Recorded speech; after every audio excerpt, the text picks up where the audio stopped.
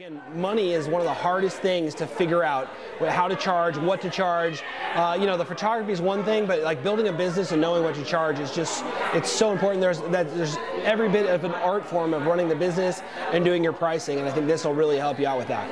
Like I have some of that stuff demystified, and it really doesn't need to be as complicated as I've made it out to be, and and I, I have a place to focus now, so I can actually put some packages together. I, I, I feel really confident that I can go home now and get busy. I feel a lot more confident about the psychology behind choosing to do packages a certain way and being able to guide my clients towards the right choice for them and for me. I think everyone struggles with how to price themselves.